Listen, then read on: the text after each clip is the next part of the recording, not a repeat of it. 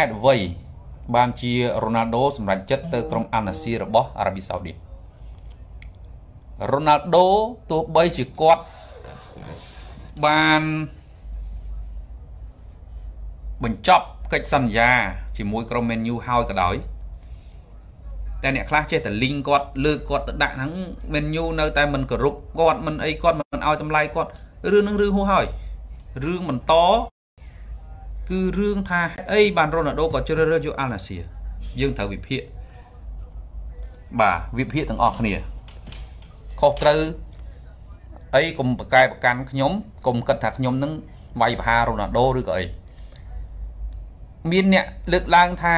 ការជ្រើសរើសយកក្លឹបអាណាសៀពីរ៉ូណាល់ដូដោយសារតែរ៉ូណាល់ដូត្រូវការលុយគេខ្ញុំមិនតន់និយាយចប់នោះមានអ្នកខមមិនលុយមក ដោយសាររ៉ូណាល់ដូត្រូវការលុយខ្ញុំអត់ប្រកែកថាខុសទេ200លាននៅក្នុងមួយឆ្នាំ កំណត់ត្រាតម្លៃខ្លួនកីឡាករនៅក្នុងមួយឆ្នាំដែលខ្ពស់ជាងគេបំផុត នៅក្នុងប្រវត្តិសាស្ត្របាល់ទាត់មិនធ្លាប់មានពីមុនមកវ័យ37ឆ្នាំទទួលបានប្រាក់ឈ្នួល200លានអឺរ៉ូក្នុងមួយឆ្នាំបងប្អូនគិតមើល តើមានកីឡាករណាវ័យ37ឆ្នាំគេហៅទៅឲ្យ200លានក្នុងមួយឆ្នាំអត់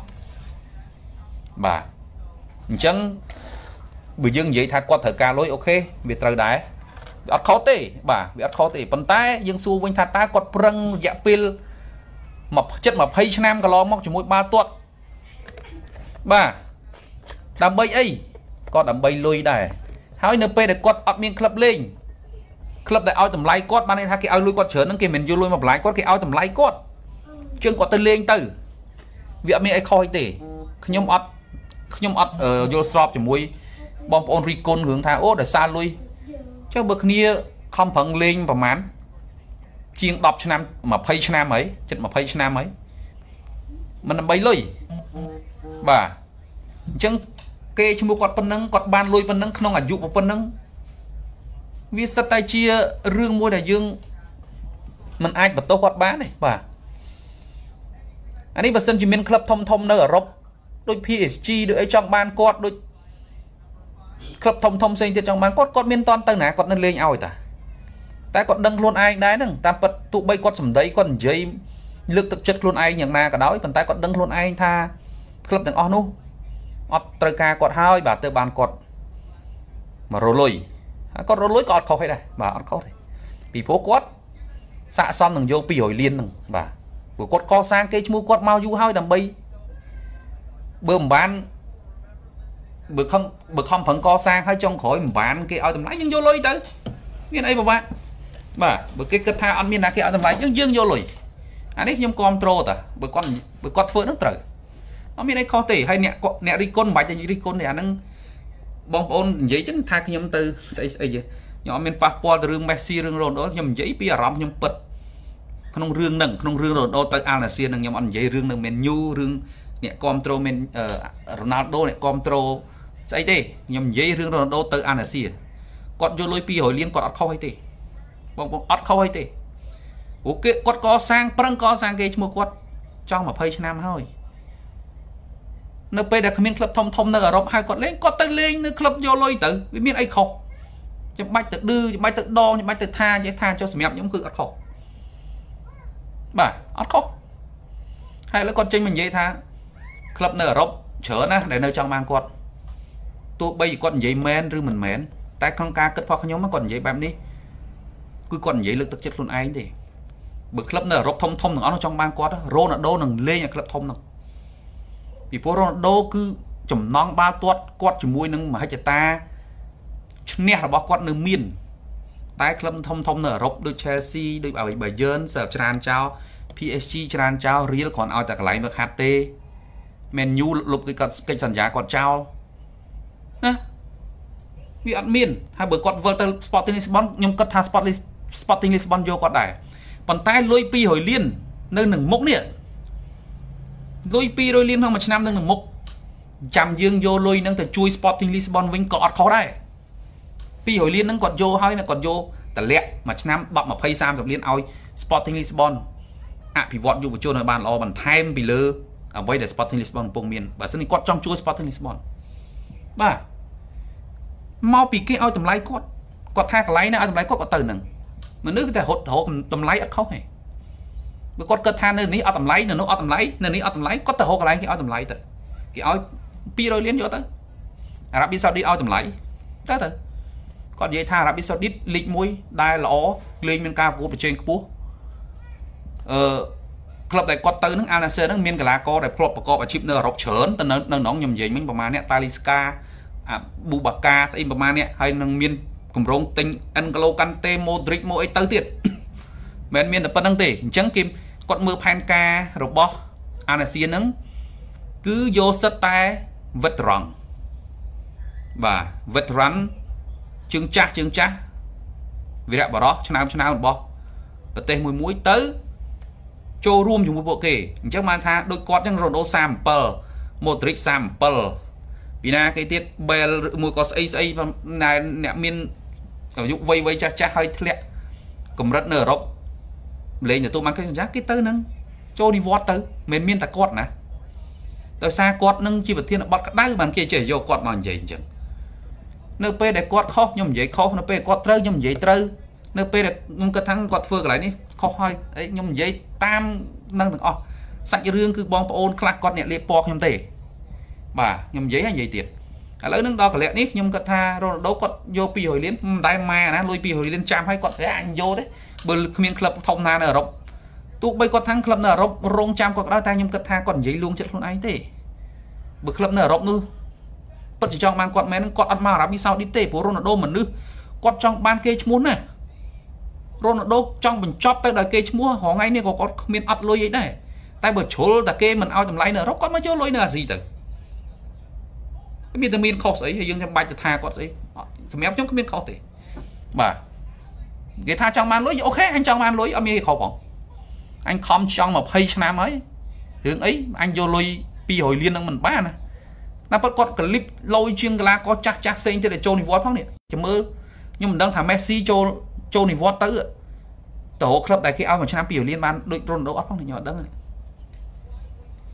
អត់ទាន់ដឹងទេព្រោះមេស៊ីឥឡូវអនាគតរបស់គាត់ជាមួយនឹង PSG គាត់ ប្រកាសហើយឥឡូវថ្ងៃថ្ងៃហ្នឹងលឺសូថាគាត់មកចូលរួមថ្ងៃគៀយប់ថ្ងៃគៀគាត់មកមកវឹកហាត់មួយ PSG វិញហើយសបាយអលើកពីន World Cup អីហើយណាឥឡូវកិច្ចសន្យាជាមួយនឹងក្រុម PSG គាត់បាននិយាយបន្ទាប់បញ្ចប់ World Cup ឪពុកគាត់ជាភ្នាក់ងារក៏គាត់ផ្ទាល់គាត់ថាអូខេអាហ្នឹង verbal agreement មាត់ផ្ទាល់មាត់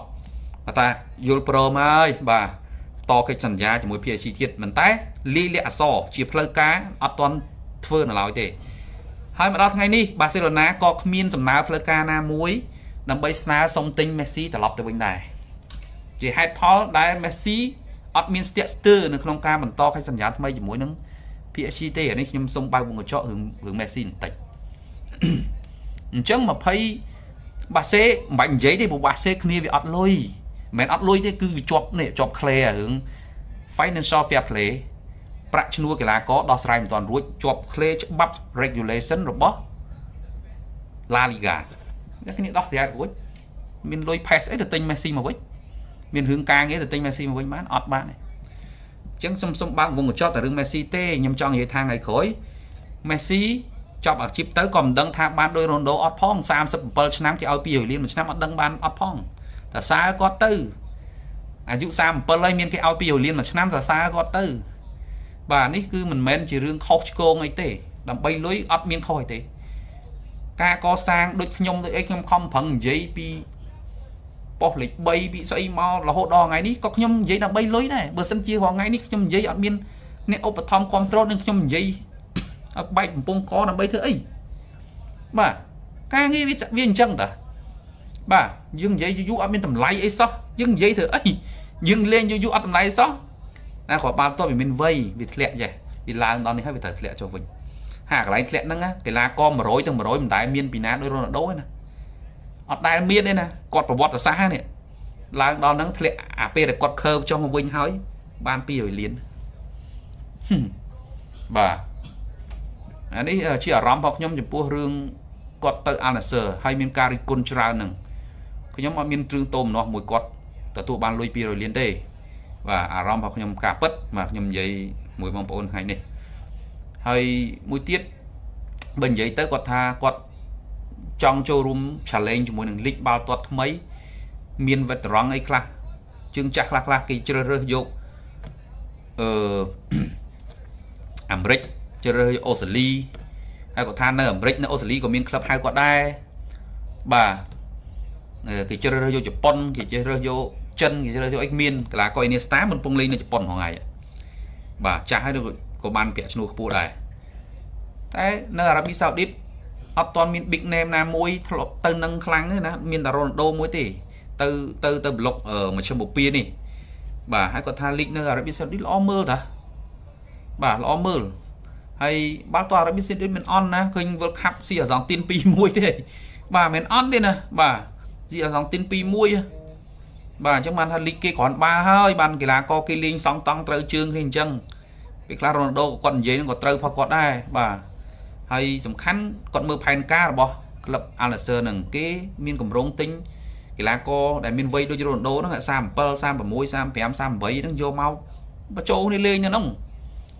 អញ្ចឹងអាហ្នឹងហៅថាកដោណូអែលបាទកដោសម្រាប់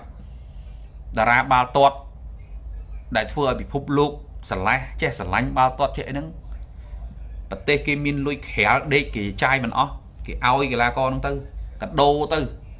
បាទគាត់ចាស់ចាស់ហើយគាត់ធ្លាប់បង្ហាញទេពកោសលលើទីលានឲ្យយើងសប្បាយភ្នែកឲ្យយើងអីយកទៅបាទហើយកុំទៅអាធ្វើចេះក៏ខុសអាធ្វើចុះក៏ខុសកុំធ្វើចឹងបងប្អូនបាទអ្នកគ្រប់ត្រូលយើង